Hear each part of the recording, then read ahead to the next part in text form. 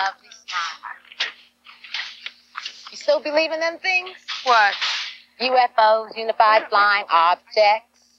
Unidentified. Whatever, flying saucers. Yes, I do. I believe that's how Jesus came to earth in a flying saucer. Jesus? Oh, mm-hmm. you're crazy. That's how he ascended again into heaven. And Adam and Eve were astronauts.